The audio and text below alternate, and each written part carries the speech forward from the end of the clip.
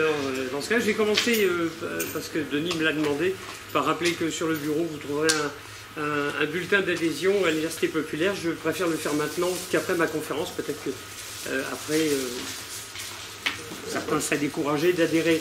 Les, les responsables de l'Université populaire ont eu la gentillesse de me demander de revenir en deuxième semaine. Ce que j'ai fait avec beaucoup de plaisir. Cette fois-ci pour parler d'un sujet tout aussi sérieux que le précédent d'ailleurs, mais peut-être sous une forme un petit peu plus agréable.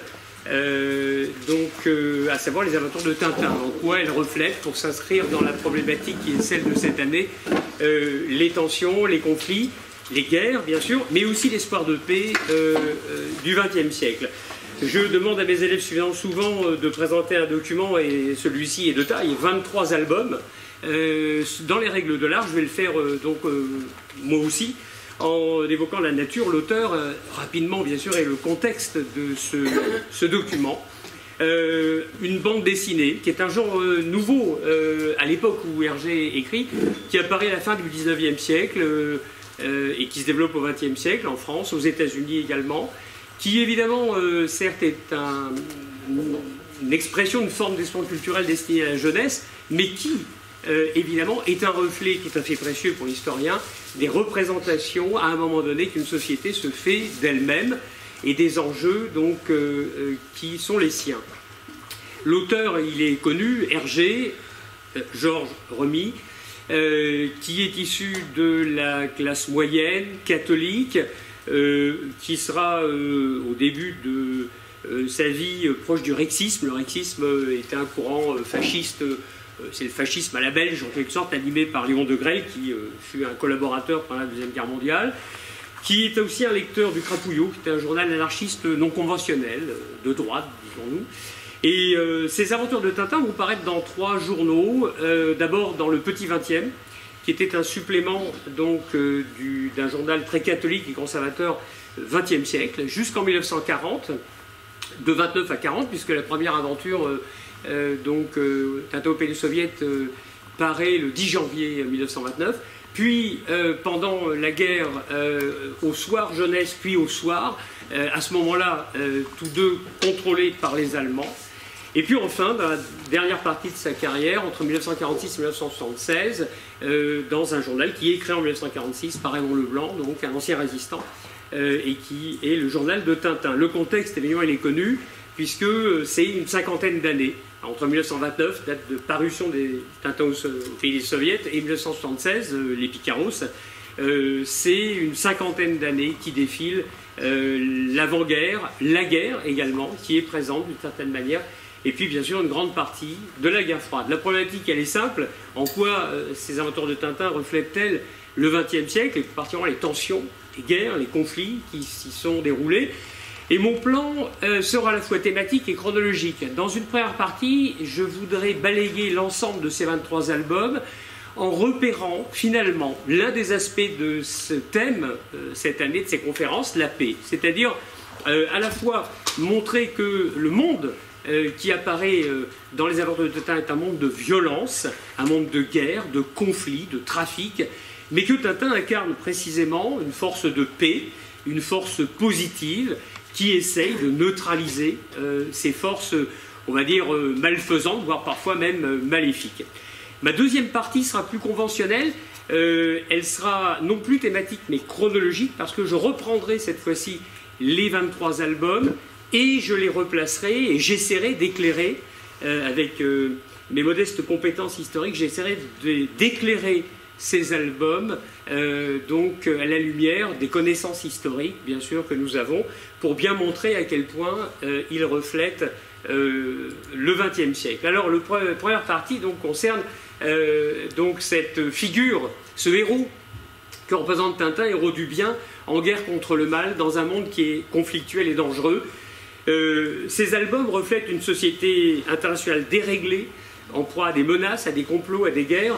Tintin, lui, incarne un idéal chevaleresque qui défend euh, ses amis, sans être pour autant un militant. Euh, et euh, Tintin incarne peut-être mieux que quiconque cette valeur de l'amitié qui est vraiment posée comme un absolu existentiel. Alors, la société internationale qui est, présentée dans les albums de Tintin est une société extrêmement dangereuse, extrêmement violente. D'abord parce que trafiquants de tout genre, privés ou publics, foisonnent. Ensuite parce que la violence et la guerre sont présentes partout également et que les États ou les institutions internationales sont bien absents ou bien défaillants.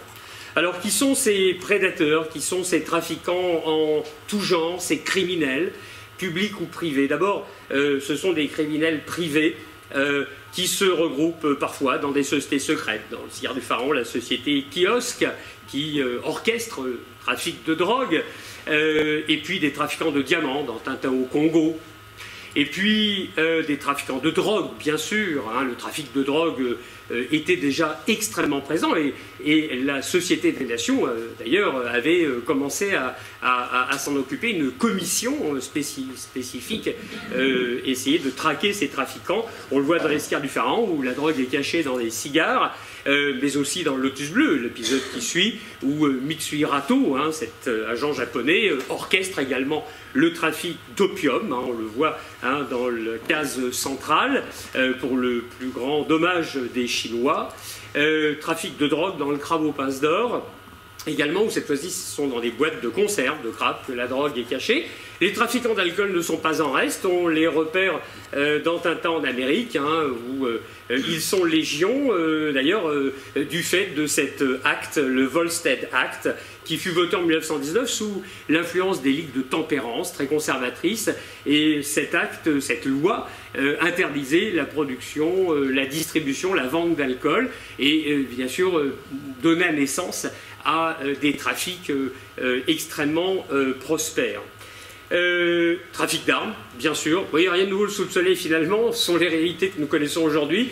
Trafic d'armes sur le boutre euh, de ce capitaine qui ressemble étonnamment à Henri de Montfred dans Les Sires du Pharaon.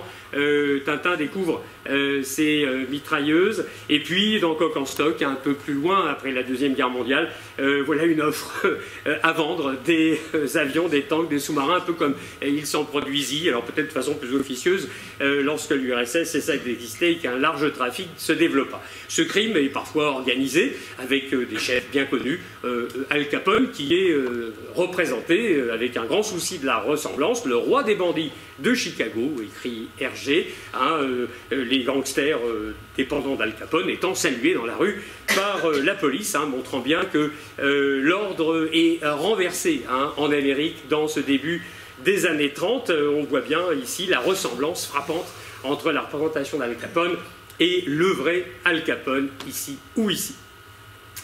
Euh, trafiquant de fausse monnaie également dans euh, l'île Noire, euh, donc en Angleterre. trafiquant d'êtres humains. Où des pèlerins africains noirs eh bien, finissent esclaves du fait de trafiquants. et puis des rançonneurs. Alors en Amérique, bien sûr, Monsieur Good News, hein, un sénateur enlevé le 20 juin 100 000 dollars de rançon. Et puis, euh, bien sûr, Astapopoulos qui enlève Caridas dans euh, Vol 714 pour Sydney pour s'approprier sa fortune. Euh, voilà. Alors ces prédateurs sont tous des prédateurs privés, vous l'avez vu, mais il y a aussi des espions, des comploteurs à la solde des États euh, qui sont-ils? Eh bien, dans euh, le Lotus bleu, Mutsuhirato, bien sûr, euh, cette âme damnée des intérêts japonais en Chine, j'y reviendrai tout à l'heure, mais aussi, après la Deuxième Guerre mondiale, dans l'affaire Tournesol, les espions Bordure et Sildav qui voudraient s'emparer de la découverte de cette arme donc à ultrasons que Tournesol a mis au point, une image vraiment très intéressante d'ailleurs, hein, l'espion Bordure espionnant l'espion Sildav, lui-même espionnant donc nos amis. Euh, ces comploteurs euh, essayent euh, parfois, on va le voir, de prendre le pouvoir. C'est le cas dans le sceptre d'Autocar, hein, qui raconte comment un coup d'État est monté contre Muscar XIII, le roi de Sildavie, le bon roi de Sildavie. Et ces comploteurs privés ou publics eh bien, peuvent se rencontrer. la fumerie d'opium dans le Lotus Bleu, magnifiquement représenté par Hergé, eh bien, est le quartier général à la fois de ce trafic de drogue qui inonde la Chine d'opium, mais aussi des agents japonais, puisque Utsuhirato orchestre euh, à, deux casquettes euh, en quelque sorte. Euh, cette société, elle est violente aussi parce que la guerre est omniprésente et la violence politique. Alors, cette violence politique se décline de différentes manières. D'abord des attentats et du terrorisme. Euh, les attentats, c'est par exemple ce caporal Diaz, malheureux caporal Diaz, euh, ancien colonel Diaz, qui, euh, on le verra tout à l'heure, parce qu'il protestait contre la promotion de Tintin, s'est retrouvé caporal et qui désormais n'a de cesse de vouloir éliminer le tyran Alcazar, mais aussi dans la Palestine mandataire au euh, avant l'indépendance de l'État d'Israël, eh bien, ces attentats contre, euh, pour s'emparer de Tintin, pris pour un agent euh, sioniste, et donc des soldats anglais en font les frais.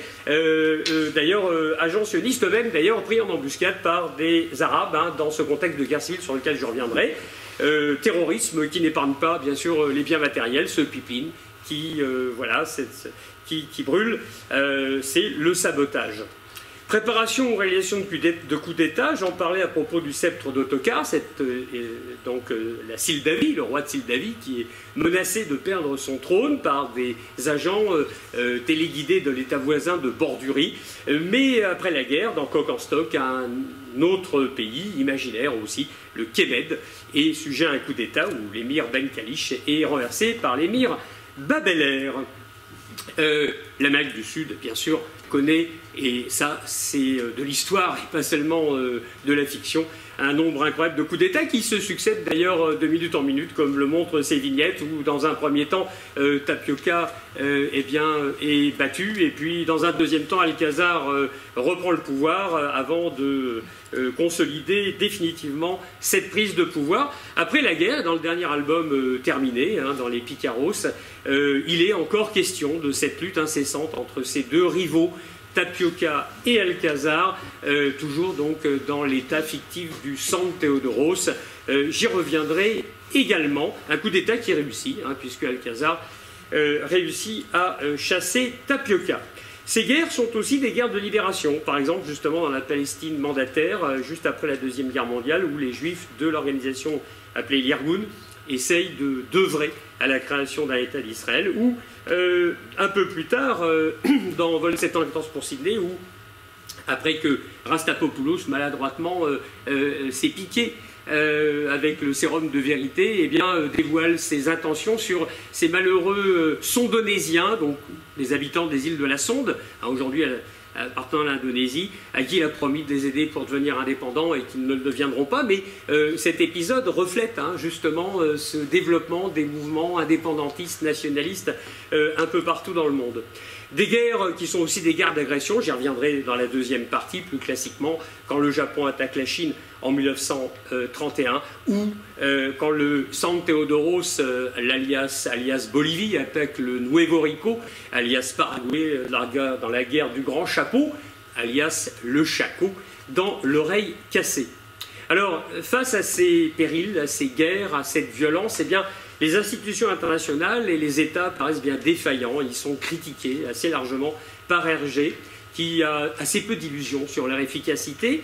Euh, la géographie euh, d'Hergé est très intéressante.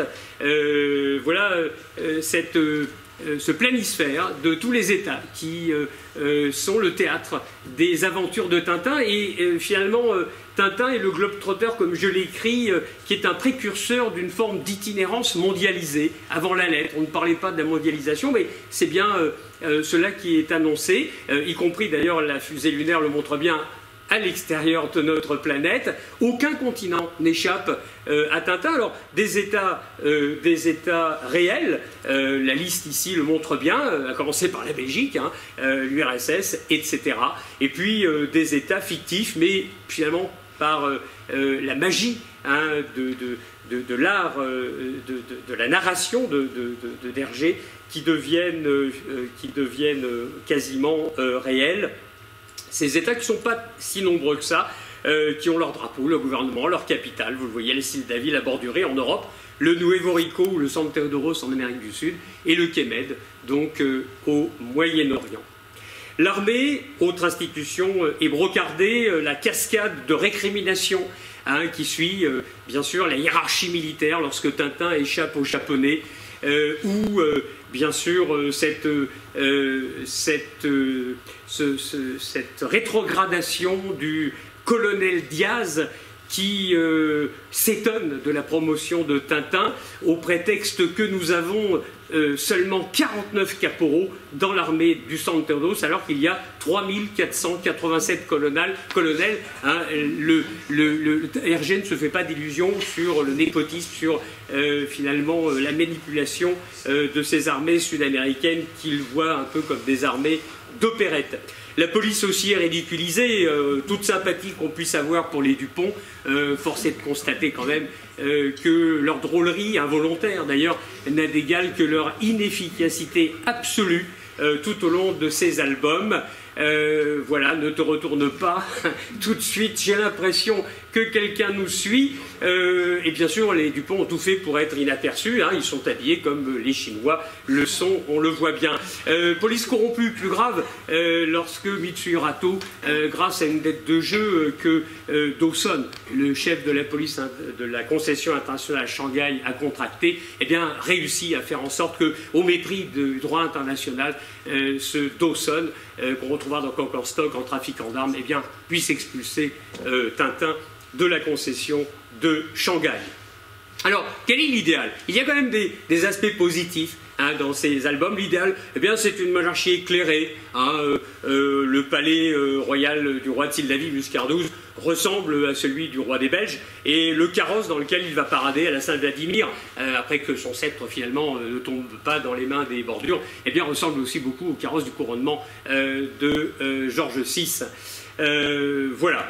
Le droit international n'existe quasiment pas dans les albums de Tintin. Une mention seulement de la Nations avant-guerre. alors, de façon relativement positive, hein, où euh, le Japon, agresseur, est condamné euh, après avoir attaqué la Chine. Quant à l'ONU, euh, alors elle est encore plus ignorée puisque c'est à la fin de l'album Coq en stock, hein, paru dans les années 50, que, au hasard d'une série de coupures de presse, eh on devine qu'à l'Assemblée de l'ONU, de nombreux délégués réclament le contrôle international des compagnies de transit des pèlerins qui vont à la Mecque pour éviter que beaucoup de pèlerins ne soient donc transformés en esclaves. Alors, euh, en face de cette société euh, extrêmement violente, euh, heureusement, il y a un héros. Alors, heureusement que cette société est violente aussi, parce que si Tintin naviguait dans une société de bisounours, probablement que ses aventures seraient moins intéressantes. Alors, Tintin est un héros, et un héros dans les deux orthographes humanistes, qui promeut un idéal chevaleresque, qui défend les amis, ses amis qui défend les faibles, qui n'est pas militant, qui ne veut rien réformer, euh, qui n'est pas un révolutionnaire, mais qui croit dur comme fer à un certain nombre de principes moraux, sur lesquels je reviendrai. Alors son action est purement individuelle, il lutte contre les trafiquants tout genre que j'ai évoqués tout à l'heure, il défend les communautés traditionnelles euh, minoritaires, fragiles, menacées par l'Occident. Il dénonce le racisme, je, resterai un petit moment sur cette question parce qu'elle est un peu controversée, euh, et il affirme, je l'ai dit, l'amitié comme un absolu existentiel. Une action purement individuelle, je le disais, un rejet sans embâche de la violence, de la guerre. Euh, on le voit dans le dernier album, Les Picaros, où euh, eh bien, Tintin arrive à convaincre Alcazar euh, de faire une révolution non violente, sans effusion de sang, euh, et euh, aux grandes dames d'ailleurs à la fois, et c'est très savoureux, d'Alcazar et de Tapioca, les deux hommes, après le coup d'État qui permet à Alcazar de détrôner Tapioca, qui aura un avion à ses dispositions pour partir là où il voudra. Eh bien, les deux hommes, échangeant ce très navrant dialogue, je vois un idéaliste, n'est-ce pas? Ces gens-là ne respectent rien, hélas, pas même les plus vieilles traditions. Oui, triste époque, hein. on sent bien qu'un vieux monde est en train de disparaître. Euh, voilà, le rejet de la violence est quand même quelque chose, euh, euh, en tous les cas, la violence gratuite, est une marque de fabrique de Tintin. Le rejet de la guerre aussi. Quand, dans l'oreille cassée, devenu aide de camp du colonel, du général Alcazar, Tintin reçoit un représentant d'une compagnie pétrolière qui propose à Tintin de prendre la responsabilité de déclarer la guerre au Nuevo Rico, l'État voisin du San Pedro, pour s'emparer et exploiter les champs pétrolifères. et, que, évidemment, cela ne se fera euh, pas sans conflit armé, Tintin eh bien, euh, éjecte euh, le représentant des compagnies pétrolières, ce qui lui vaudra d'ailleurs ensuite d'être à son tour démis de ses fonctions par Alcazar, qui lui sera moins regardant sur les avantages financiers qu'il pourra retirer d'une guerre avec le Nuevo Rico, contre le Nuevo Rico. alors, pas de militantisme, mais une exemplarité. Euh, dans euh, cet album, euh, On a marché sur la Lune, où les héros ont failli être abandonnés sur la Lune par le colonel Jürgen et Wolf, qui tentent de faire décoller la fusée. Heureusement, ils n'y parviennent pas. quand nos héros reprennent le contrôle de la fusée, Haddock veut les laisser sur la Lune, ne serait-ce que parce que les réserves d'oxygène ne seront pas suffisantes. Et la réponse de Tintin est très claire soyons plus chevaleresques que ces gens-là. Je crois que tout est dit hein, sur cette philosophie, cette exigence morale euh, de Tintin, et le fait est qu'ils seront, euh, bah, oui, mis, euh, ils seront, ils seront mis dans, à fond de cale, si je puis dire, mais ils ne seront pas laissés une mort certaine. Alors, ce héros lutte contre tous les trafiquants. Je ne vais pas répéter ce que j'ai dit tout à l'heure, mais vous voyez cette liste que j'avais évoquée il y a un instant. Ce héros, il est intéressant parce qu'il défend aussi des communautés traditionnelles que la modernité, hein, comme on dirait aujourd'hui, euh, tente à menacer. Trois communautés sont particulièrement protégées par Tintin, défendues par Tintin. Les Indiens d'Amérique du Nord, euh, pour lesquels Tintin avait une tendresse très particulière depuis, euh, depuis son enfance, ceux d'Amérique du Sud également, et puis les Ziganes. ceux d'Amérique du Nord, menacés par les affairistes, les hommes d'affaires en tout poil, euh, lorsque le hasard euh, fait que Tintin, sans le vouloir, découvre un puits de pétrole, euh, eh bien, ces affairistes accourent, ces compagnies pétrolières, proposant des millions, enfin des millions, non, quelques milliers de dollars à Tintin. Vous savez qu'aux États-Unis, dans les pays anglo-saxons, le propriétaire du sol est aussi propriétaire du sous-sol. Tintin, évidemment, rejette ses offres, puisque très honnête, hein, il rappelle qu'on est sur une réserve indienne, et euh, évidemment, euh, le mépris affiché pour euh, ces Indiens est très simple, c'est 25 dollars qu'on propose cette fois-ci aux Indiens en échange de leur pétrole, et évidemment, comme ils refusent, eh bien, ils sont chassés manu militari par la garde nationale. on voit que à ce moment-là, les droits des natifs, comme on dit, ne sont pas vraiment respectés. Euh, les Indiens d'Amérique du Sud aussi. Ces deux, ces deux cas sont extrêmement intéressantes. La première, elle est tirée de l'oreille cassée. On est dans les années 30. La deuxième, des Picaros, on est dans les années 70. Alors, euh, l'explorateur Ridgewell, qui a décidé de quitter la civilisation et de partager le destin des Arumbaya, qui vivent quelque part en Amazonie, eh bien, euh, oui, dit J'ai décidé de ne plus jamais retourner dans le monde civilisé. Mais vous aurez remarqué qu'il n'y a pas de guillemets au monde civilisé, parce qu'on est à ce moment-là dans la conviction qu'il n'y a qu'une civilisation, j'aurai l'occasion d'y revenir, c'est celle de l'Europe, bien entendu, que tous les autres peuples sont des sauvages, que les Européens soit doivent dominer, soit élevés en son temps, euh, en leur temps, euh, bien sûr, vers d'autres, vers les lumières de la raison. Euh, en 76, Hergé a fait du chemin. Il a fait du chemin et il sait que les civilisations sont, euh, et les peuples, euh, d'égale dignité. Et vous voyez Tournesol qui écrit des ivrognes, puisque c'est euh, l'alcool annoncé par Tapioca, hein, chez les Indiens Rumbaya qui protègent Alcazar dans la forêt vierge. voilà ce que sont ce que des civilisés, entre guillemets cette fois-ci, euh, fait de ces sauvages, entre guillemets. Je crois que c'est une des meilleures preuves qu'on puisse, un des meilleurs arguments qu'on puisse, mais il y en a d'autres, on les verra, qu'on puisse apporter à tous ceux qui pensent encore euh, que Hergé euh, était un fiefé raciste. Alors les Indiens d'Amérique du Sud également sont menacés par les Occidentaux, hein, lorsque dans les sept boules de cristal, on fait état de ces tombeaux incas qui ont été découverts par des explorateurs et certaines momies, dont celle de Raskar Kapak, ramenées donc en Europe. évidemment, il n'est pas question pour Tintin qui euh, respecte profondément cette civilisation Inca, de dévoiler, hein, c'est ce qu'il promet à l'Inca à la fin de l'album Le Temple du Soleil, de dévoiler le lieu secret où cette civilisation Inca a pu perdurer à l'abri de la domination espagnole. La dernière communauté qui est euh, protégée, défendue par Tintin, ce sont les Tziganes, ostracisés par la société.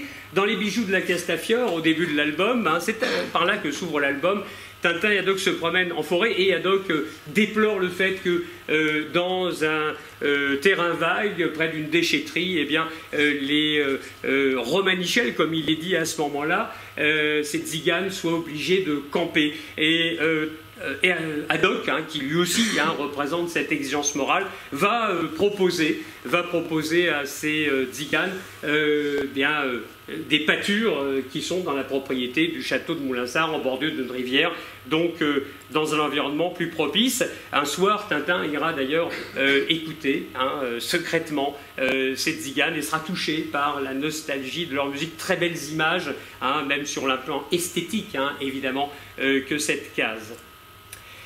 Alors, l'un des points qui fait souvent débat quand on parle d'Hergé, c'est le racisme. vous savez que Beaucoup euh, pensent, euh, ou certains pensent, je n'ai pas de proportion en tête, que, euh, notamment s'appuyant sur Tata au Congo, que Hergé est un raciste. Hein. alors, il faut évidemment instruire le dossier à charge et à décharge. Il y a effectivement des éléments à charge. Il y en a d'autres, je crois, plus nombreux à décharge. Et puis surtout, il y a une évolution, parce qu'il faut prendre les choses dans leur évolution.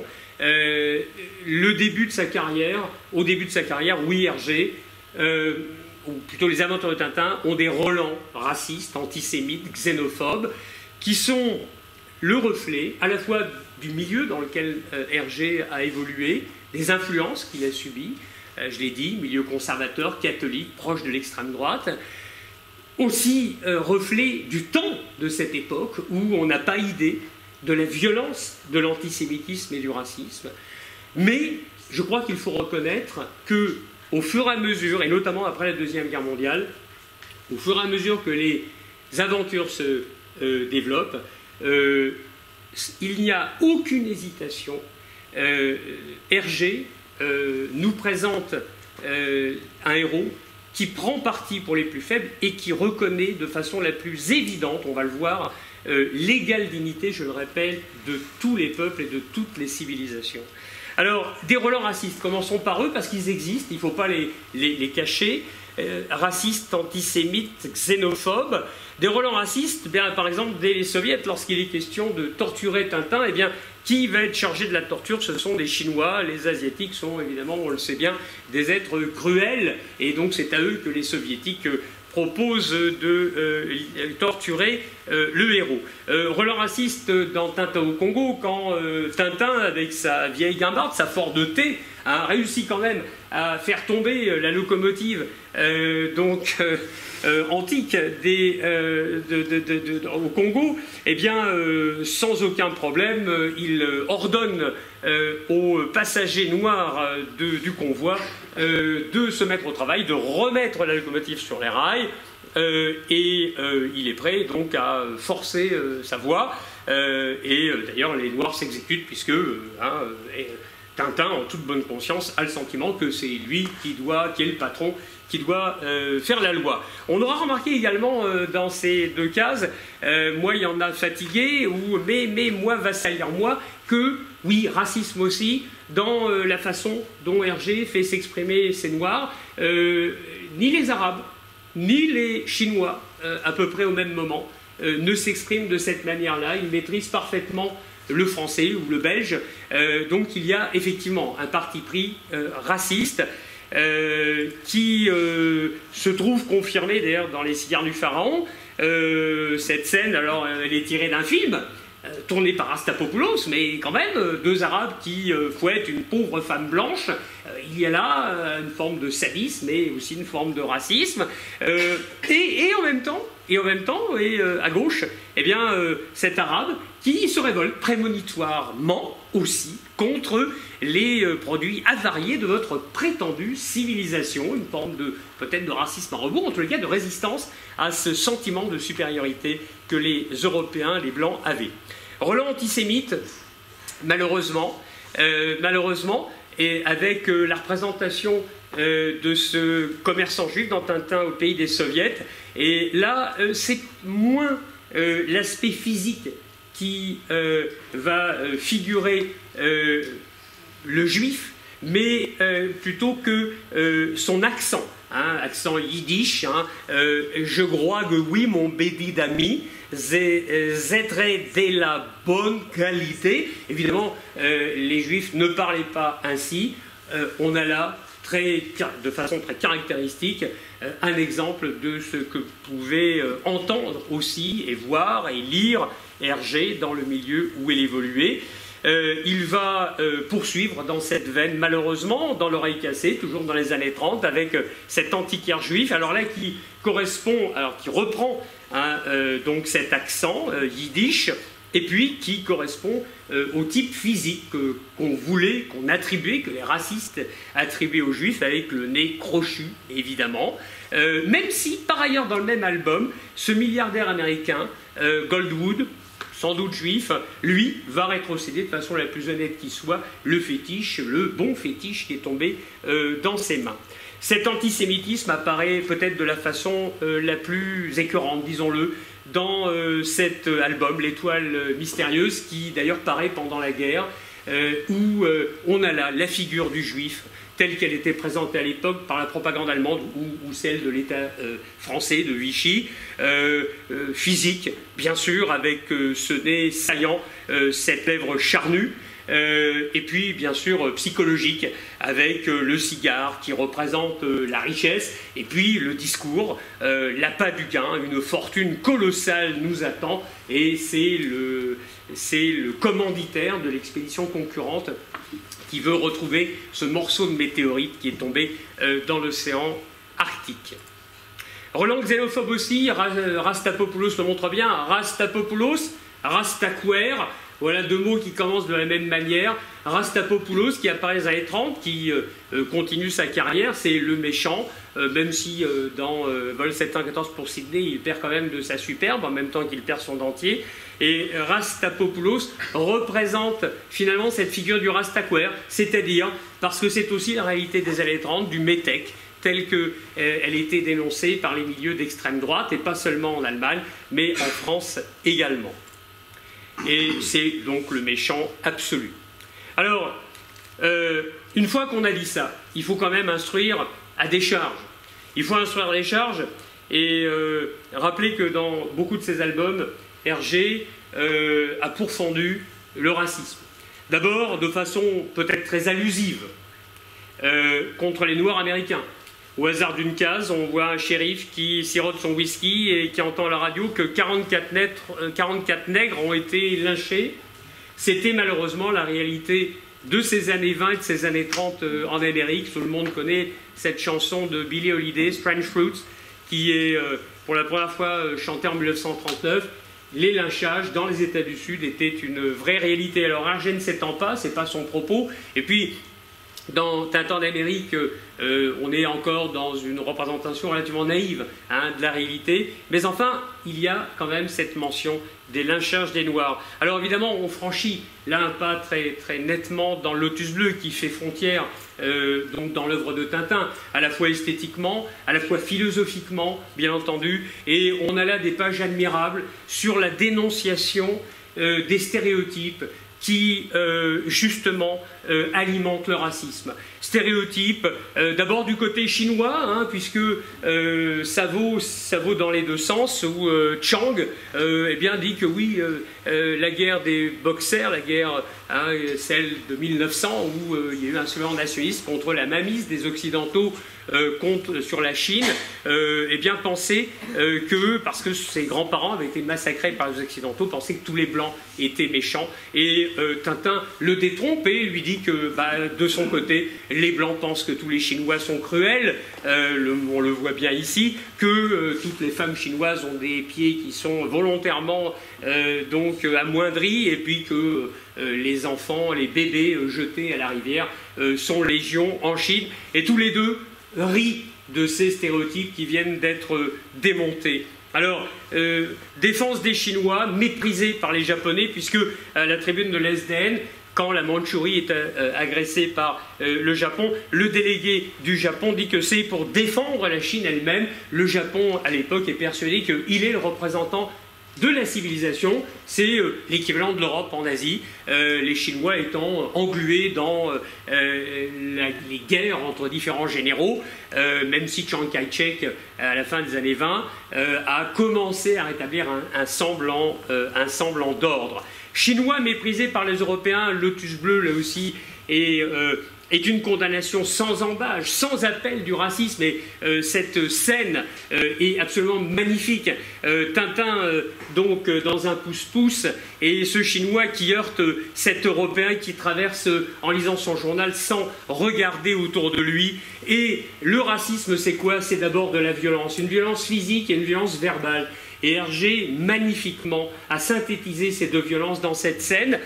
Des coups de canne, pour ce Chinois et des insultes racistes, sale chink. Euh, la réponse de euh, Tintin euh, a fait, je m'en rappelle, hérisser les poils du petit garçon que j'étais, qui était content en son fort intérieur qu'un méchant soit puni, hein, parce que l'injustice est la pire des choses. Et Hergé, pour bien que tout le monde le comprenne, en remet une couche, il insiste, il insiste parce que ce blanc, va dans un club privé, Occidental Private Club, qui montre une forme de ségrégation. Hein. les Européens ne vont pas se mélanger aux Asiatiques. Et alors, euh, euh, ce euh, Gibbons, eh bien, cet homme d'affaires, hein, auprès de ses deux amis blancs, dont Dawson, le chef de la police de, la Constitution internationale de Shanghai, hein, raconte l'histoire et reprend cette expression de chink en disant que c'est intolérable qu'il n'ait pas pu battre ce chink. Et alors, son discours est fantastique. C'est à vous dégoûter, dit-il, de vouloir civiliser un peu ces barbares. Vous voyez le mépris affiché vis-à-vis -vis des Chinois. Nous n'aurions donc plus aucun droit sur eux, nous qui leur apportons les bienfaits de notre belle civilisation occidentale. On est là absolument dans cette propagande colonialiste des années 30, à l'apogée de la colonisation, euh, l'exposition internationale coloniale de 1931 à Paris qui traîna plusieurs dizaines de millions de visiteurs le montra très bien, à un moment où d'ailleurs, euh, sur place, euh, on voyait les premiers craquements et les premières contestations.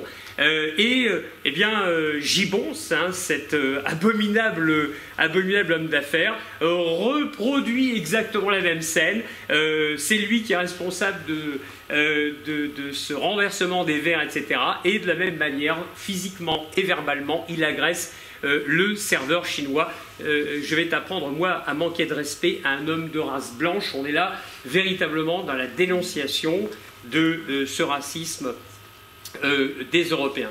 Alors, euh, condamnation du racisme envers les Indiens d'Amérique du Sud par les euh, populations blanches. on sait bien que l'Amérique du Sud a un peuplement extrêmement divers. les Indiens ont évidemment un peu partout régressé. Hein. Tout le monde connaît le choc microbien qui a décimé une grande partie des populations indiennes hein, qui préexistaient à la colonisation. Mais ensuite, différentes vagues d'immigration euh, forcée, celle des Noirs, notamment au Brésil surtout, mais pas que, ou celle des Blancs, des Européens venant d'Italie, d'Espagne, Portugal, euh, ont abouti à des populations dans les pays d'Amérique latine extrêmement bigarrées, avec des proportions d'ailleurs différentes. Hein. Les populations brésiliennes sont plus bigarrées que celles du Chili ou de l'Argentine, beaucoup plus européennes. en tous les cas, ici, on est au Pérou, et au Pérou, eh bien, on voit deux euh, euh, Péruviens, mais d'origine, euh, j'allais dire, espagnole, qui martyrisent Zorino, hein, ce petit Indien. Et évidemment, Tintin va prendre immédiatement sa défense. raciste contre les Africains, qui sont réduits en esclavage, alors que pacifiquement, ils vont faire le pèlerinage à la Mecque.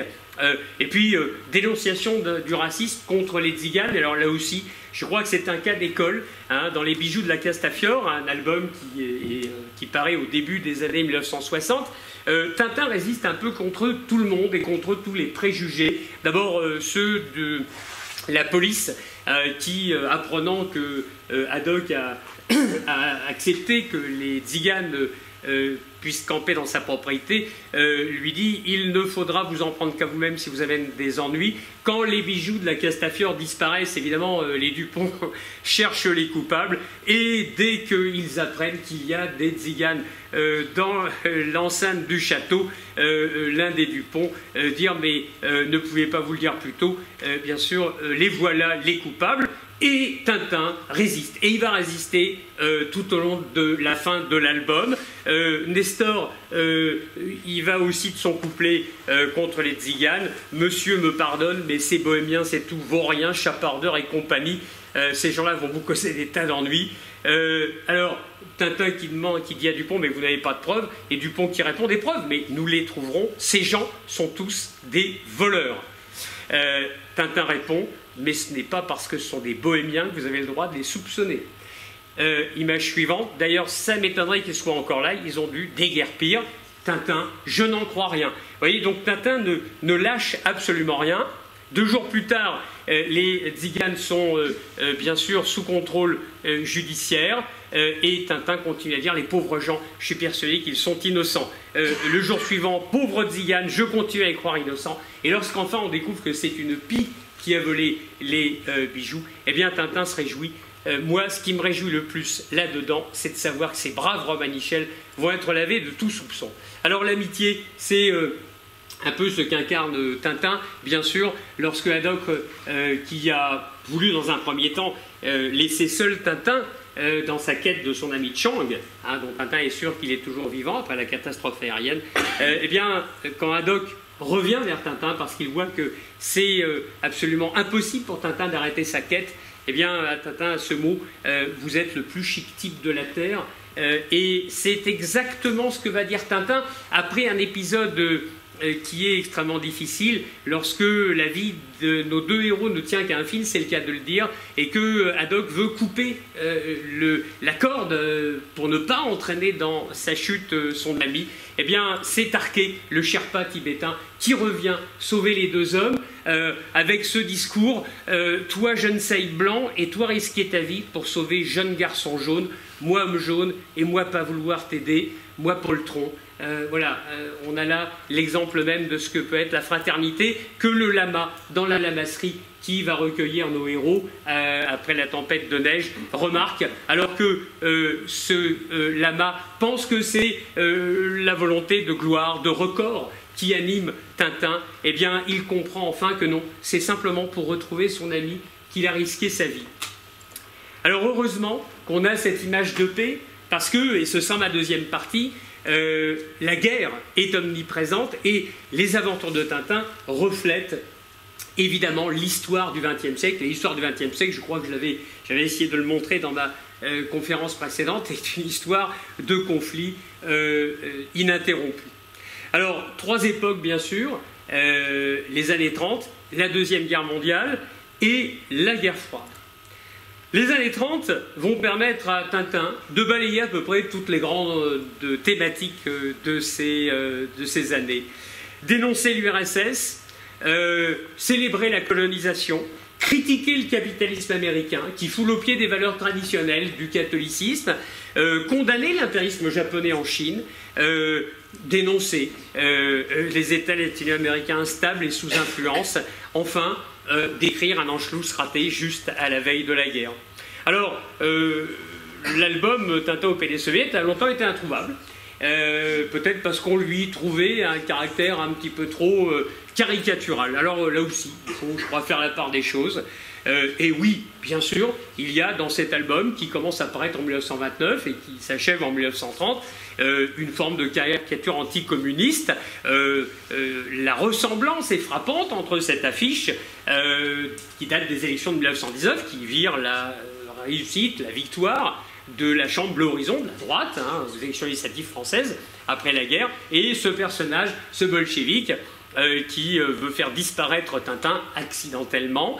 Euh, oui, l'anticommunisme est, je dirais, comme l'oxygène qu'une partie de l'opinion publique respire à, cette époque. Le communisme est le mal absolu, le bolchevisme, et Tintin qui vient de la droite catholique conservatrice, qui travaille dans un journal conservateur, qui côtoie Léon de Grelle, qui fut, je l'ai dit, un animateur du rexisme et du fascisme, et qui collabora avec l'Allemagne, eh bien Tintin ne pouvait pas échapper à cet environnement. Donc oui, on est là dans les caricatures. Euh, Tintin représente en 1930 une URSS délabrée. Alors c'est aussi une caricature. Ce n'est pas l'URSS de 1930. L'URSS de 1930, c'est reconstruite.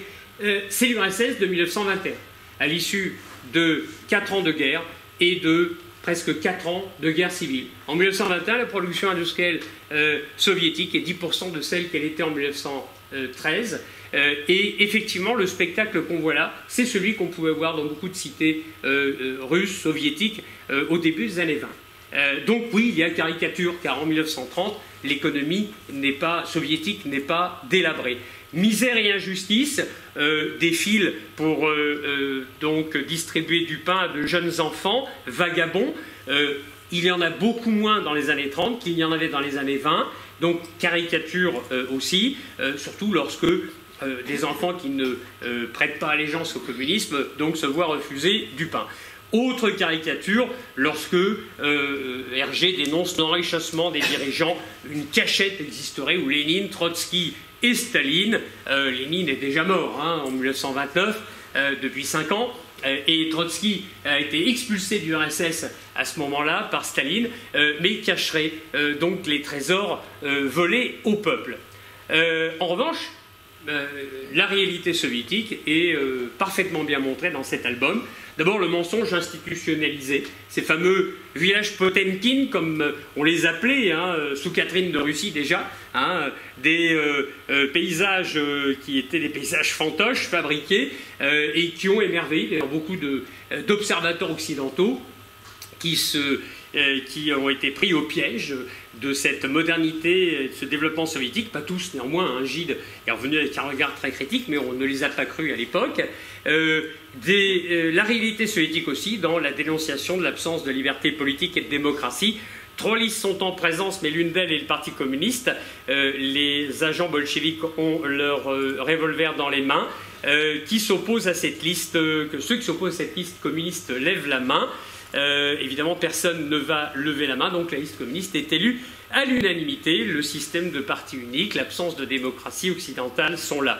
Violence politique et torture, euh, on le disait tout à l'heure, hein, il s'agit de faire disparaître accidentellement, bien sûr, Tintin, qui met son nez partout, et euh, donc il va être passé au supplice.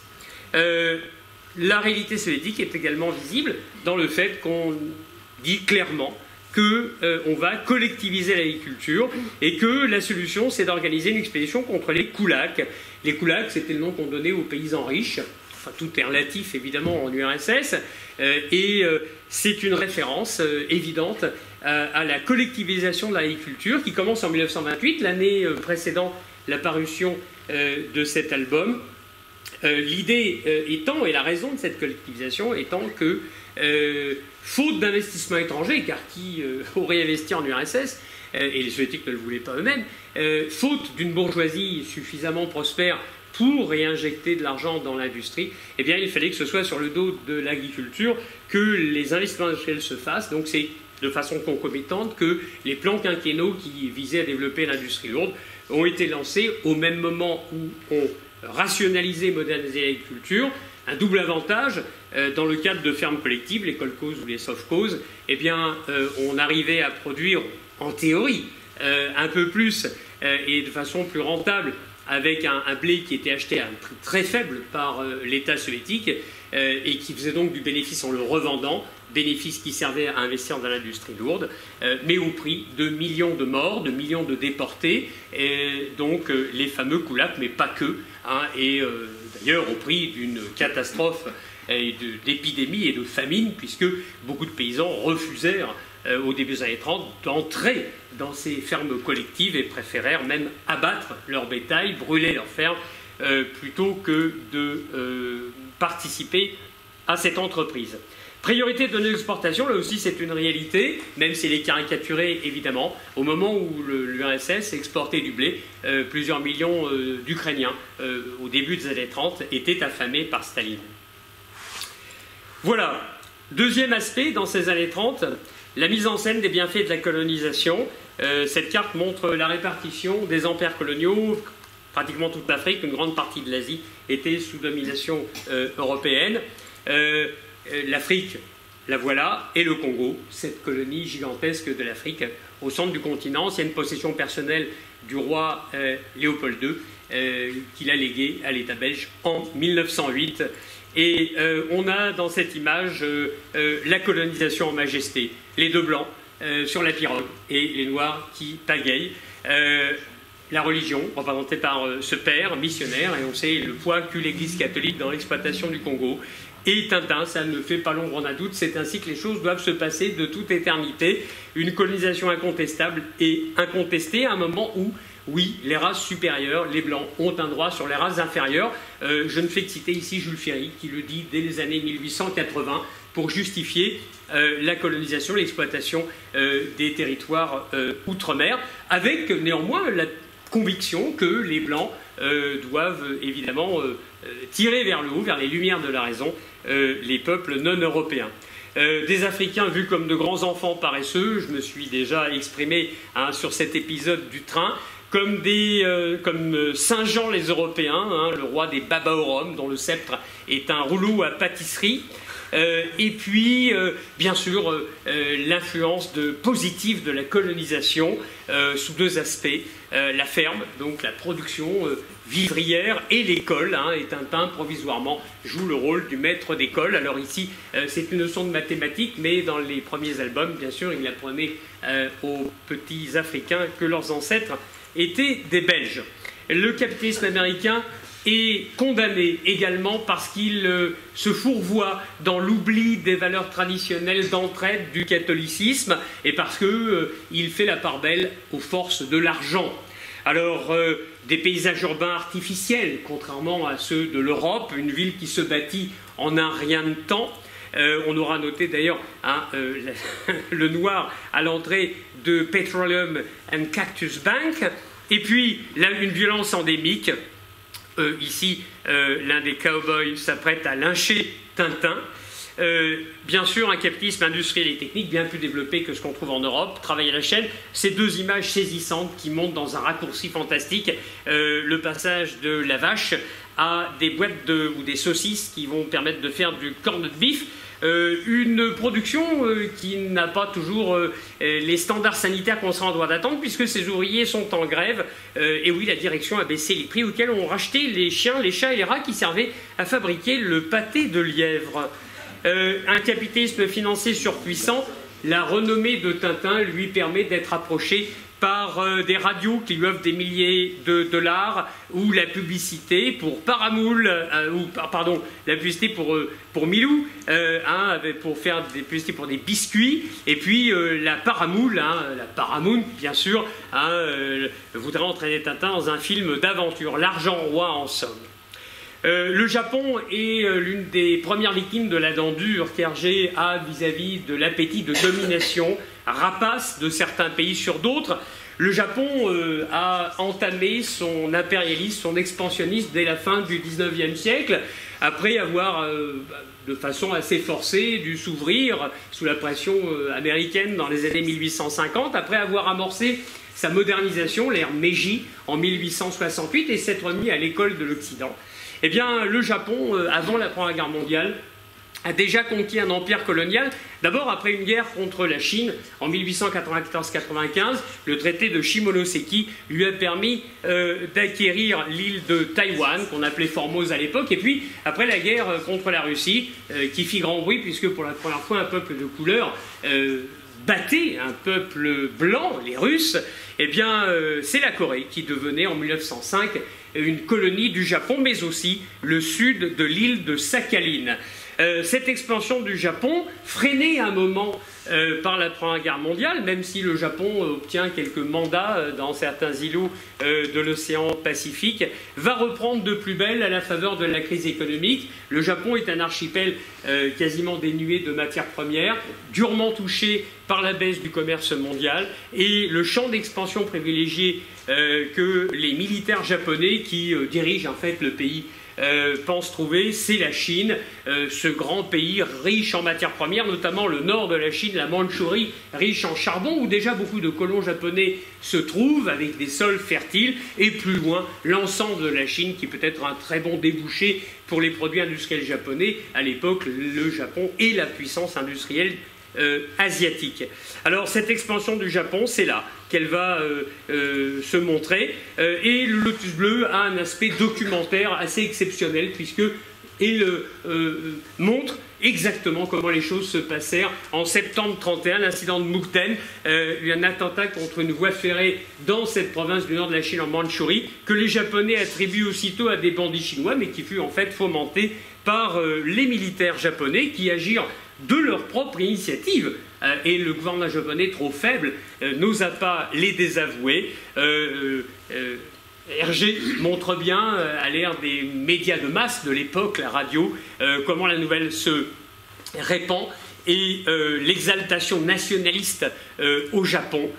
c'est la guerre, l'invasion japonaise, du pays, a très bien montré par Hergé à la tribune de l'SDN. Le délégué japonais rappelle que c'est pour protéger les Chinois de leur propre violence euh, que le Japon apporte l'ordre et la civilisation d'Extrême-Orient. On l'a dit tout à l'heure.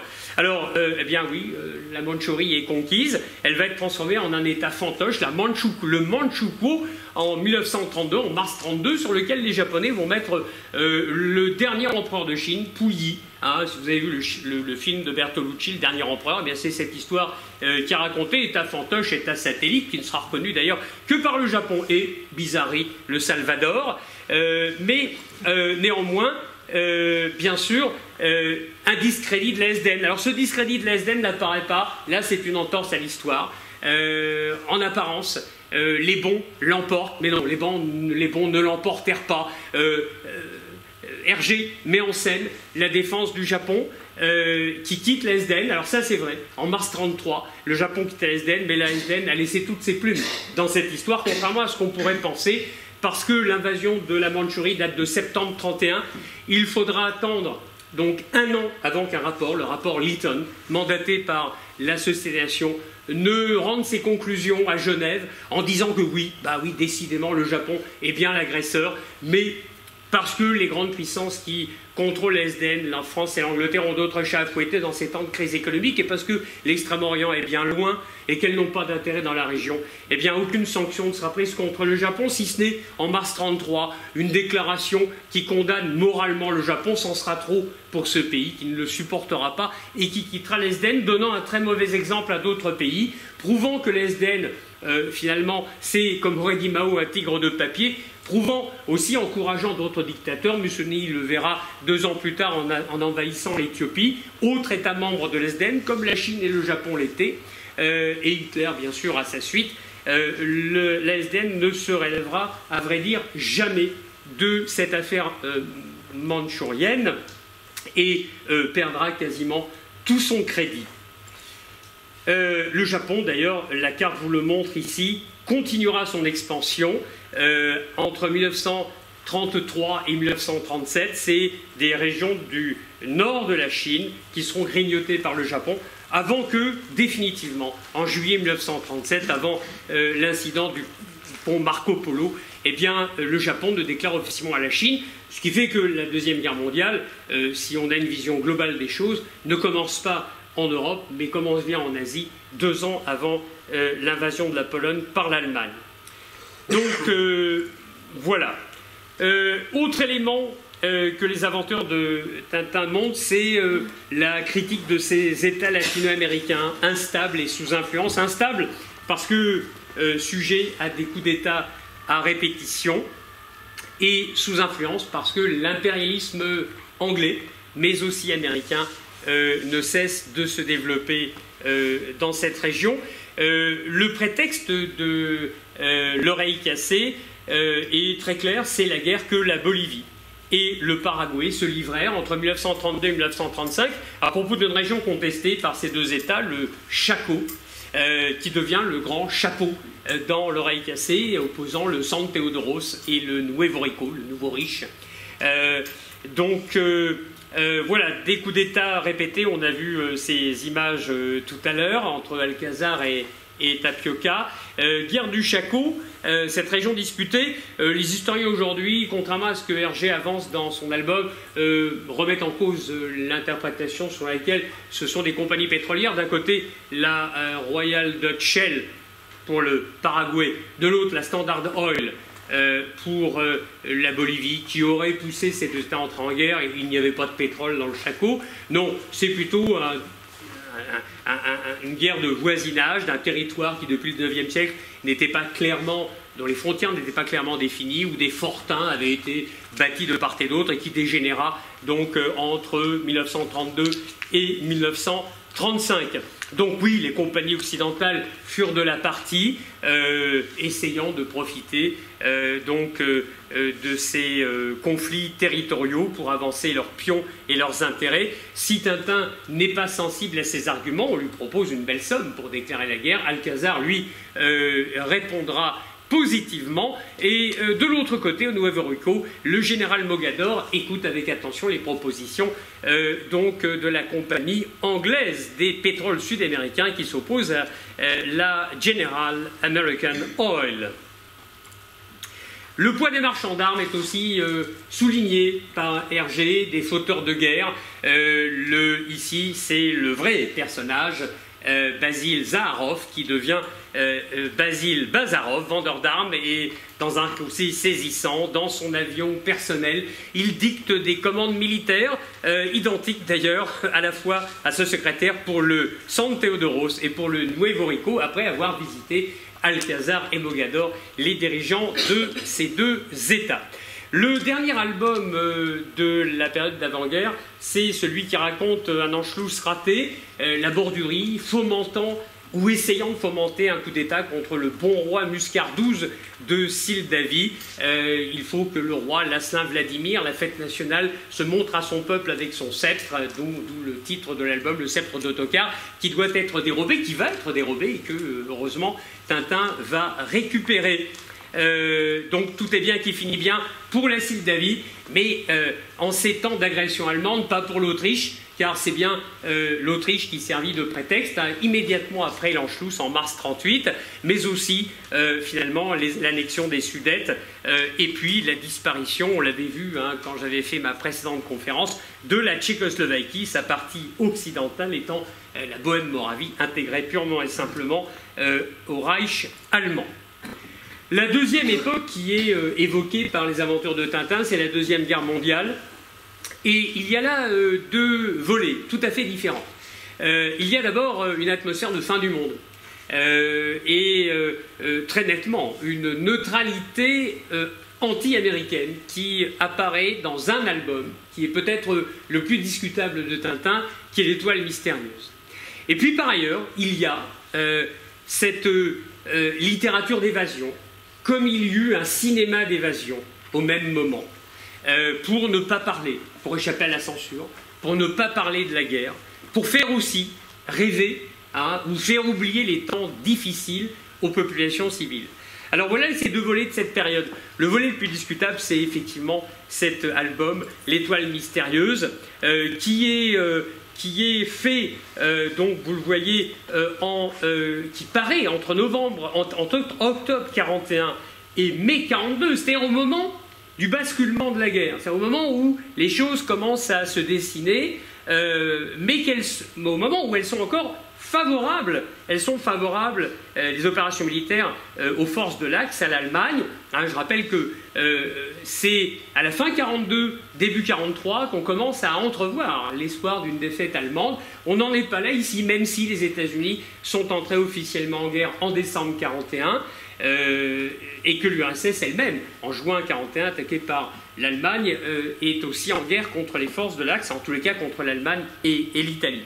Alors à ce moment-là, quand l'étoile mystérieuse paraît, euh, personne ne peut dire qui va gagner, et c'est plutôt l'Allemagne, l'Italie et le Japon qui ont le vent en poupe. une atmosphère de fin du monde, les rats qui sortent des égouts, et voilà, c'est explicite, la fin du monde. Hein, L'R4 fait Tintin, il est rare de voir Tintin dans cet état. Hein, dans un album. Alors oui, certes, c'est parce qu'une météorite s'approche de la Terre. Euh, tout le monde aura bien compris euh, l'image, hein, la, catastrophe planétaire que représente la Deuxième Guerre mondiale est à l'œuvre. Et Philippe Luce n'a de cesse de rappeler que tout le monde va périr. Alors, une, une, expédition est montée pour récupérer le bout de météorite qui est tombé dans l'océan Arctique. Le Fonds européen de recherche scientifique, euh, donc, dont le professeur Caliste est, membre, euh, va euh, se lancer à la recherche de, cette, de ce morceau de météorite. Et qui retrouvons-nous parmi les scientifiques qui vont aller dans cette expédition? Eh bien, le professeur Callis, bien sûr, alors belge sans doute, un Suédois, la Suède est un pays neutre, le seigneur Bolero y Calamares de Salamanque, l'Espagne est neutre, oui, officiellement. La Légion Azul, qui combattit sur le front russe, n'était pas une force officielle, mais euh, les sympathies de Franco pour les forces de l'Axe ne faisaient pas mystère. Euh, le docteur euh, Otto Schulz de l'Université de donc c'est l'Allemagne. Monsieur Paul Cantono, hein, un Suisse, pays neutre. et puis le seigneur Pedro dos Santos de l'Université de Coimbra, donc Portugal, pays neutre également. Donc aucun pays en guerre contre l'Axe, des pays neutres ou plutôt favorables à l'Axe. Et en face, une expédition rivale, euh, le Pierry, qui essaye aussi euh, d'arriver avant euh, nos héros, étant prêt même à simuler un accident pour détourner ou envoyer un faux message demandant au bateau du fonds européen de détourner sa route pour porter secours à un éventuel, un hypothétique bateau en naufrage. Euh, la première édition de cet album est très révélatrice. Ça, c'est l'édition officielle hein, qui fut retravaillée après la guerre. Euh, c'est l'état du Sao Rico, un état imaginaire. Mais euh, la toute première édition de l'album, la voilà. Hein, pendant la guerre, voilà l'expédition rivale, le drapeau qui flotte ici. Et évidemment, sans hésitation, le drapeau américain. Alors, ça, c'est le premier volet. Et puis il y a un deuxième volet. Alors, dans cette, euh, évidemment, dans cet album, mais j'en ai parlé tout à l'heure, je n'en ai pas à me répéter, je le rappelle quand même, c'est là où on voit cette caricature la plus odieuse euh, du juif, tel que les milieux d'extrême droite et les nazis, mais pas seulement, euh, le voyaient, hein, ce fameux financier, hein, Bolwin Kell. la petite histoire qui est assez cocasse, d'ailleurs, si on peut dire, fait que, dans un premier temps, ce financier, qui euh, souhaite récupérer les météorites euh, et qui représente la juiverie internationale, pour reprendre l'expression, et la plutocratie, euh, reprendre l'expression de l'époque, eh bien s'appelle Blumenstein. Donc non évidemment juif. Alors après la guerre, évidemment, on a fait comprendre à Hergé, quand il a réécrit ses albums, qu'il fallait peut-être un peu mettre de l'eau dans son vin, et il a choisi le nom de Bolwinkel. Ce ne fut qu'après qu'on lui dit que ce nom était aussi un nom porté par des membres de la communauté juive bruxelloise. Alors, euh, le deuxième volet de cette période, c'est, euh, comme je l'ai écrit, la guerre se lutte dans l'aventure. Lorsque le conflit devient défavorable à l'Axe, le secret de la licorne, le trésor de Rackham le Rouge, les sept boules de cristal, le temple du soleil, sont des albums de pure aventure, sans absolument aucune euh, référence à l'actualité du moment. La dernière période évoquée, c'est celle de la guerre froide jusqu'en 1976. Euh, la guerre froide ne s'arrête pas en 1976, mais le dernier album fini, paru, c'est en 1976. Et on voit aussi que Hergé, euh, finalement, balaye un certain nombre d'éléments euh, importants de cette guerre froide. Les tensions au Proche-Orient, la course à l'espace, la course aux armements, le tiers-monde, terrain d'affrontement des grandes puissances, la dénonciation du totalitarisme, et enfin une vision désenchantée de la société. Le Proche-Orient, voilà ce qu'il était dans les années 30 avec euh, des mandats qui avaient été donnés par l'SDN euh, aux Anglais et aux Français. Les Français, le Syrie, la Syrie et le Liban, les Anglais, l'Irak, la Transjordanie et la Palestine. Et c'est précisément en Palestine que se passe Tintin au pays de l'or noir. vous ne retrouverez pas ces scènes, enfin vous retrouverez ces scènes, mais pas avec ces appellations dans les dernières, euh, euh, dans les dernières versions. Euh, aujourd'hui, le politiquement correct a eu raison depuis pas mal d'années. C'est au Québec, cet état imaginaire, que l'album se passe, mais la première édition était bien en Palestine. Et donc cette Palestine, euh, que s'y passe-t-il à ce moment-là euh, L'immigration juive n'a cessé de se développer euh, dans les années 20, les années 30. pour donner un ordre de grandeur, après la Première Guerre mondiale, eh bien, il y a à peu près 60 000 juifs pour 600 000 arabes.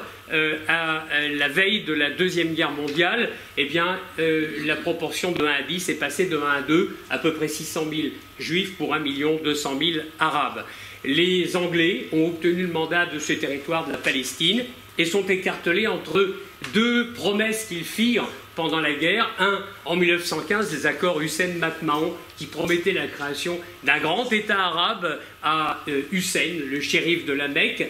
Euh, et deux, en novembre 1917, la déclaration Balfour qui promettait l'établissement d'un foyer national juif, euh, sans pour autant, la déclaration le dit bien, nuire aux intérêts des populations arabes. Alors, l'immigration juive ne cessa de se développer dans les années 20, stimulée à partir de 1933 par les persécutions racistes, évidemment en Allemagne nazie, et des troubles euh, se développèrent de plus en plus entre les communautés arabes et juives. Euh, la grande révolte arabe de 1936 le montra, et euh, en 1939, le Royaume-Uni publia un livre blanc qui prévoyait, un, la réduction très drastique des autorisations d'immigrer pour les juifs, et deux, le fait que d'ici une dizaine d'années, un État confessionnel devrait être créé en Palestine. La guerre a changé la donne. Après la guerre, les euh, tensions sont de plus en plus importantes entre euh, juifs et arabes.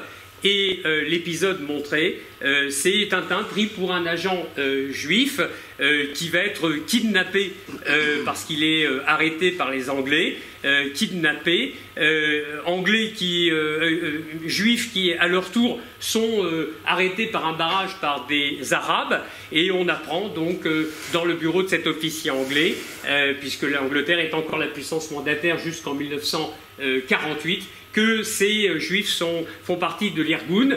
il y avait plusieurs organisations nationalistes juives militant pour la création d'un État juif en Palestine. La première fut la Haganah, qui fut créé euh, en 1920 et qui était très lié au parti travailliste, euh, puis l'Irgun dans les années 30 qui était beaucoup plus à droite et un, groupement terroriste ou résistant, comme on veut, encore plus à droite, le groupe Stern, euh, dans, au début des années 40. Ici, c'est l'Irgun, responsable notamment en 1946 de l'explosion du King David Hotel, où était le quartier général des forces anglaises à Jérusalem, euh, responsable aussi du massacre de Der Yassin euh, contre des populations arabes en 1948.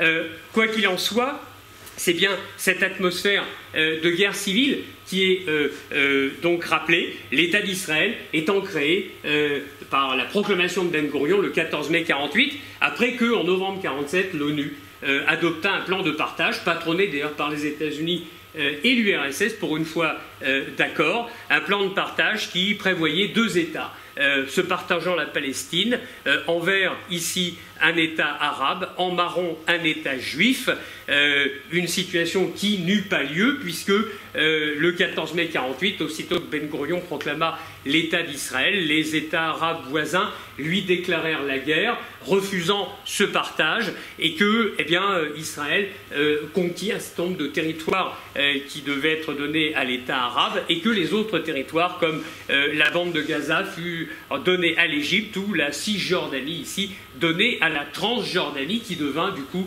en 1950, la Jordanie. Donc on est plongé dans l'histoire. Évidemment, qui dit Proche-Orient dit pétrole. L'une des trames d'un des fils directeurs de euh, cet album, c'est euh, le sabotage des moteurs, hein, les explosions de moteurs euh, à cause de, bien sûr, de cachets mis dans l'essence. Donc, et ces fameux cachets que les Dupont par mégarde, hein, vous le savez, à Valeron et qui leur vaudront hein, de connaître des mésaventures capillaires qui sont récurrentes dans les albums qui suivent. Mais oui, on est bien dans un monde nouveau le charbon, qui avait été l'énergie reine à partir du début de la révolution industrielle du 19e, commence à être détrôné par le pétrole, qui attise les convoitises et qui justifie d'ailleurs que Roosevelt, en 1944, rencontre sur le Quincy euh, donc euh, Ibn Saoud et euh, lit une sorte de pacte hein, pour assurer, bien sûr, dès cette époque-là, l'approvisionnement vital en pétrole pour les États-Unis. Instabilité du monde arabe, coup d'État au Kémed. L'album paraît en 56 euh, a pris le pouvoir par un coup d'État renversant Farouk en 1952, Neguib lui-même renversé par Nasser, et en 1958, eh bien, une guerre se déclenchera au Liban, une guerre qui sera arrêtée assez vite, mais qui préfigurera la guerre civile qui durera 15 ans, entre 75 et 90, et puis le 14 juillet 58, un coup d'État sanglant euh, en Irak, où la famille royale sera assassinée, hein, le fils, le petit-fils plutôt, euh, de Hussein, euh, qui servit de modèle dans son jeune âge à Abdallah, ce chenapan, euh, et qui permit au parti basse de prendre le pouvoir. ici, c'est Mul Pacha Muller, hein, ce docteur qu'on trouve dans l'île Noire, hein, qui veut faire interner Tintin, le faux chef des faux monnayeurs, recyclé, hein, recyclé dans l'armée de Babeler, le rival de, de l'émir Ben Kalish, hein, le papa de Abdallah, euh, que soutient euh, euh, Tintin, en face de son modèle, John Bagot Globe, dit Globe Pacha, hein, cet Anglais qui dirigeait la Légion arabe, ce corps militaire de l'État jordanien, donc dans les années 40 et 50 jusqu'en 1956. Euh, un Proche-Orient stratégique dans coq en stock.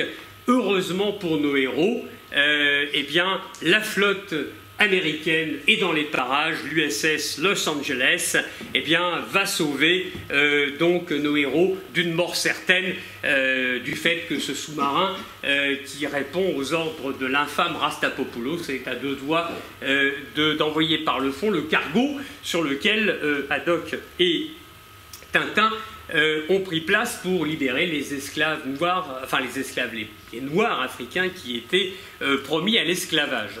Alors, euh, l'après-guerre, c'est aussi la guerre froide, et cette guerre froide se décline dans toutes les dimensions, y compris la dimension spatiale. La course à l'espace n'échappe pas à la règle.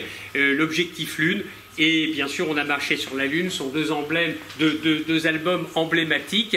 Euh, Tournesol l'explique d'ailleurs euh, à Haddock et euh, Tintin qu'il a fait venir en Sildavie, euh, où un centre atomique a été créé. Alors non pas, dit-il, où, on ne fait pas la bombe atomique, hein. non, non, on est dans des études à visée exclusivement orientées dans un sens humanitaire, dit-il. On retrouve cette volonté de paix, mais voilà, la grande ambition, c'est d'aller sur la Lune. Euh, grâce à l'énergie atomique.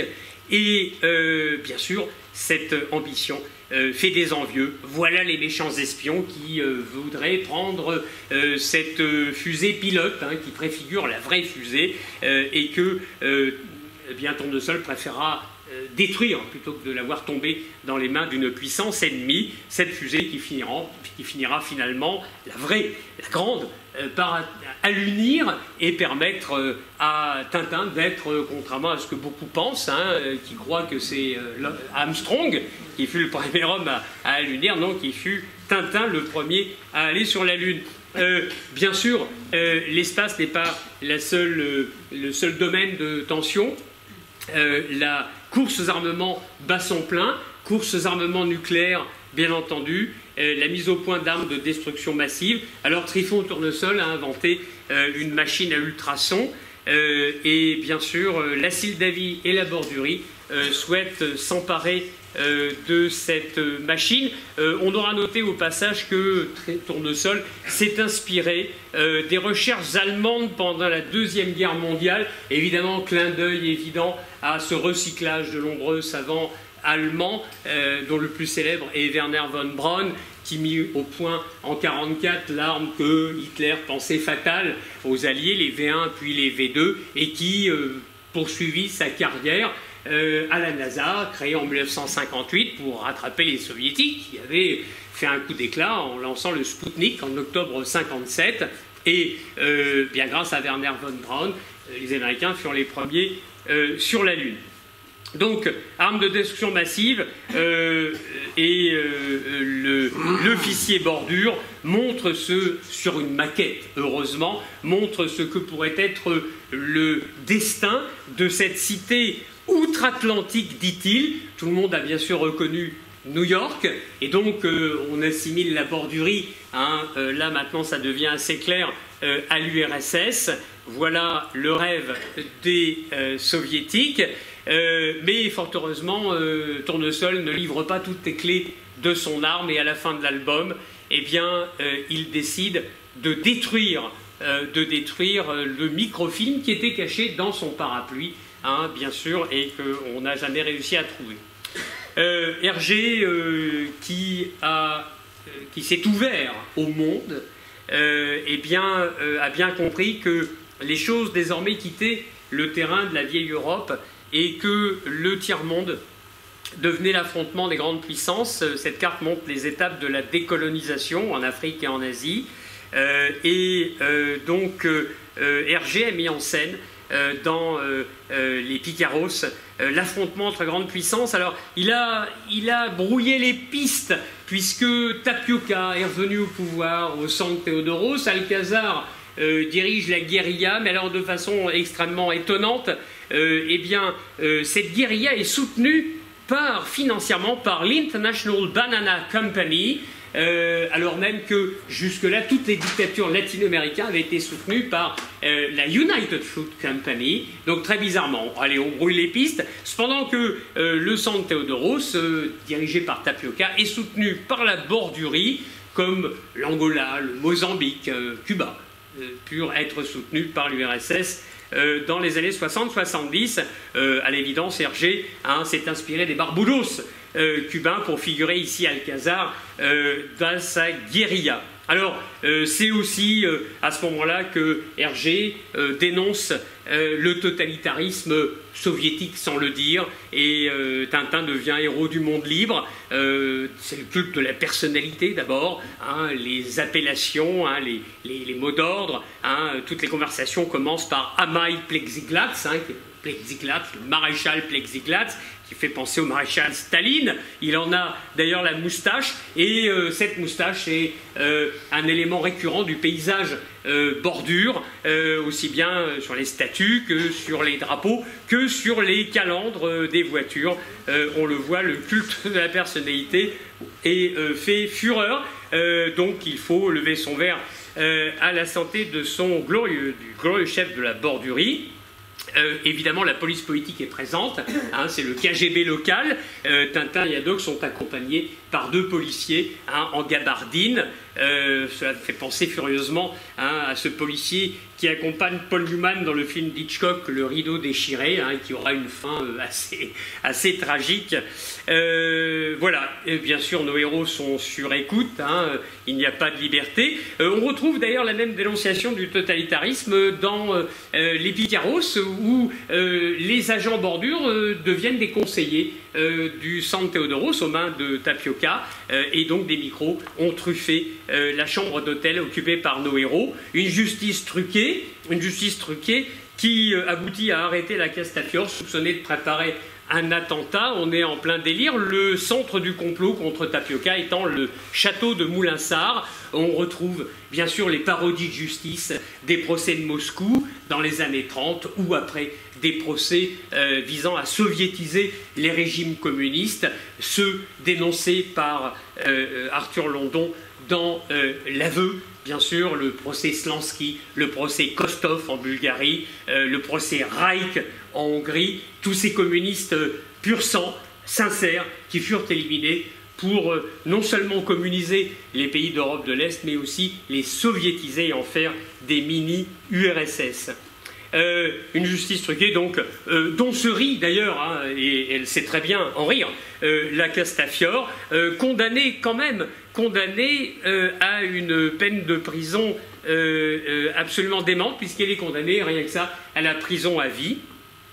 Et un tournesol qui alerte, qui veut alerter la Ligue des droits de l'homme. Hein, on voit bien hein, ce droit de l'homisme hein, qui apparaît dans les années 70, donc au nom des droits imprescriptibles de la personne humaine. Les droits de l'homme progressent Alors, dernier point, euh, c'est cette vision désenchantée et prémonitoire euh, que montrent les derniers albums des sociétés actuelles. Désenchantée parce que Hergé a compris assez précocement que les idéologies bientôt disparaîtraient. ces deux dessins des Picaros, au début et à la fin, montrent cette désillusion. le même environnement, bidonville, dans la banlieue de Tapioca Police. Euh, et bien sûr, l'uniforme des policiers a changé, mais la misère est la même, quel que soit le régime, quel que soit le dirigeant, Tapioca ou Alcazar, à la fin de l'album, qui a pu prendre le pouvoir, eh bien, la misère n'a pas bougé. Vision également prémonitoire, ce règne de l'image, dans une société qui devient celle de la communication, vidée de son sens dans les bijoux de la Castafiore, cette irruption de la presse people euh, dans les années 60, la Castafiore diva qui flirte sans flirter avec le capitaine Haddock, vieux loup de mer, et qui se laisse prendre au jeu de l'interview, qui donne euh, donc euh, ce, ce, reportage entre cette idylle sur le rossignol milanais et un vieux loup de mer qui sont supposés convolés en juste noces. On notera bien sûr la pauvreté du style, la faute d'orthographe à Gand, ville belge. Je n'insiste pas. Alors euh, tout ça est bel et bon.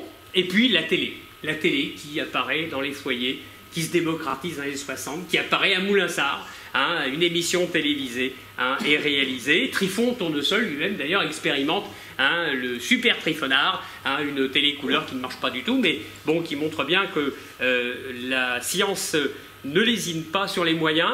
Euh, alors tout va bien jusqu'à ce que, bien sûr, euh, des journalistes mal intentionnés, italiens cette fois-ci, des paparazzi, eh bien, et rappeler à la Castafiore qu'elle n'est pas appréciée forcément partout.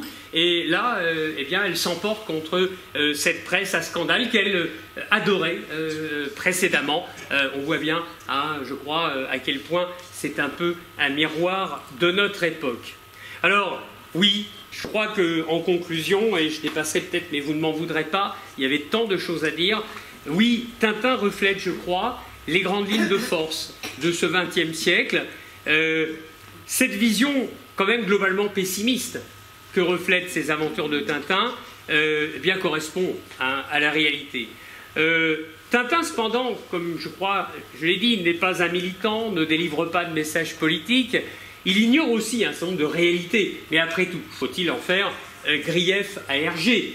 Son rôle n'était pas de jouer au sociologue ou à l'historien, bien entendu. Donc ne l'accusons pas de ne pas avoir euh, mise en place ou, mis euh, donc suffisamment en lumière la puissance, l'hyperpuissance américaine, le phénomène de la décolonisation, euh, l'émancipation des femmes.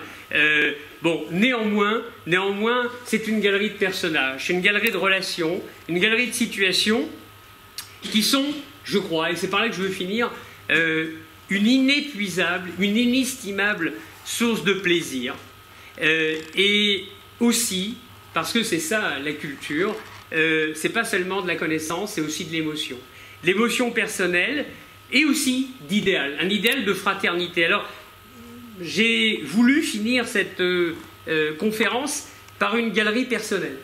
Une galerie personnelle, d'abord, en tant qu'historien, qui est reconnaissante à Hergé d'avoir créé carrément des pays à partir de rien cette brochure que Tintin feuillette dans l'avion qui doit le mener en Sildavie, dans le sceptre d'autocar, est absolument magnifique parce qu'elle inscrit la Sildavie euh, dans le destin de ces petits pays balkaniques soumis euh, à l'Empire ottoman. Et on s'y croirait, on s'y croirait. Alors, je ne rentrerai pas dans le débat, je n'ai pas le temps, et puis ce n'est pas le propos de ma conférence, de savoir où se trouve David, les tintinologues le diront mieux que moi, dans les Balkans à coup sûr, c'est un patchwork hein, de différents pays, bien entendu. Le plaisir aussi de restituer une atmosphère, cette rue de Shanghai, admirable rue de Shanghai, j'ai dit tout à l'heure que le Lotus Bleu faisait frontière, évidemment, grâce à Chang, grâce à cet ami chinois hein, qui euh, euh, donna à euh, Hergé le souci de la vérité, le souci du détail, euh, euh, au passage, d'ailleurs, je ne l'ai pas dit, il y aurait tant de choses à dire, c'est Chang qui aussi souffla à Tintin ces slogans anti-impérialistes qui sont, ces idéogrammes disent quelque chose. hein, et c'est Chang qui les rédigea, euh, idéogramme anti-impérialiste. L'art de restituer une atmosphère, cette fumerie d'opium, plus vraie que nature, cette atmosphère au Maroc, le port de Bagarre, hein, euh, où Omar Ben Salad orchestre euh, ce trafic de drogue. Hein, voilà Omar Ben Salad, pour qui est allé en Afrique du Nord, eh bien, on s'y croirait, là aussi. le plaisir de décrire un paysage, des, images superbes, Petra représentée comme jamais, Hein. Et pour qui est allé à Petra, c'est exactement la vision qu'on a après ce défilé très étroit et cette splendeur qui s'ouvre à vous. Et puis euh, ces paysages asiatiques magnifiquement représentés euh, en hommage euh, aux dessinateurs chinois ou japonais du XVIIIe ou du XIXe siècle, ce jeu d'ombre absolument fantastique. L'art d'organiser le chaos quelle image Ce conducteur exalté, énervé, cartofolie, hein, l'italien, stéréotype, hein, euh, qui au volant de sa machina hein, ne se sent plus et qui bouleverse le quotidien d'un paisible village suisse. Une image extraordinaire. Voilà le chaos représenté. Et un autre chaos dans cet hôtel où Tintin, où Tintin fait un cauchemar, il rêve et il pense à son ami Chang dont il il sait qu'il a eu un accident. Alors, euh, tout est bouleversé. L'élément le, plus fantastique dans cette image, bien sûr, c'est lui, c'est Tournesol, le seul à continuer à lire imperturbable son ouvrage parce qu'il est sourd comme un pot et que rien ne peut l'en empêcher.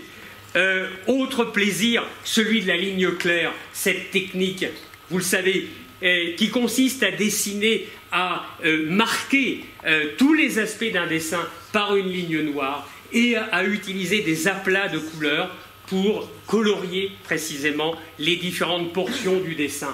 Voilà la découverte de cette salle où des égyptologues furent momifiés. Quelle splendeur, comme est une splendeur et un hommage à la vague d'Okuzai, bien sûr, euh, ce dessin des cigares du pharaon, ou dans euh, ce euh, cercueil où Tintin dérive, il manque de sombrer, heureusement, que le représentant, hein, le, capitaine qui représente Henri de Montfred, hein, va le recueillir sur son boutre. Et puis, le plaisir aussi, celui de passer